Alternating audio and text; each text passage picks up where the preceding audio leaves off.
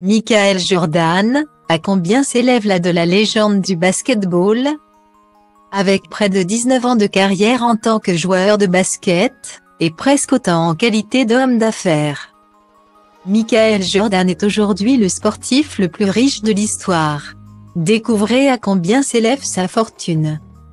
Ce n'est un secret pour personne, Michael Jordan a incontestablement marqué l'histoire mondiale du basketball.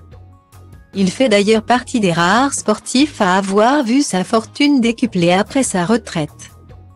Car, au-delà d'être un talent qui a enchaîné les victoires et les distinctions, celui que certains surnomment MJ est aussi un véritable homme d'affaires.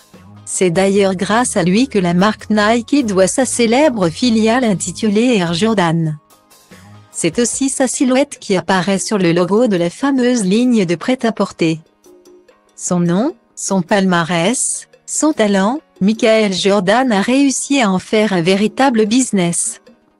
En septembre 2020, il profite de son expérience dans le monde du sport pour rejoindre DraftKings, une célèbre société de paris sportifs, en qualité d'investisseur et conseiller. Cette même année, il devient copropriétaire de NASCAR, une écurie de course automobile. L'idole de Justin Timberlake est aussi propriétaire des Charlotte Hornets, une franchise de basketball. Tant de responsabilités qui lui ont permis de construire un véritable empire financier, faisant de lui l'ex-basketteur le plus riche de l'histoire. Une chose est sûre, Michael Jordan a tout fait pour se mettre à l'abri des ennuis financiers. D'après les informations de Forbes, celui qui s'est également essayé au cinéma a dépassé le seuil des millionnaires. Et désormais milliardaire. La fortune de l'athlète s'élèverait à pas moins de 1.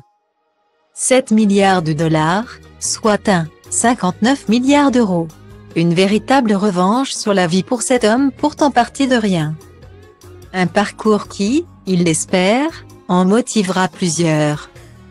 J'ai raté 9000 tirs dans ma carrière.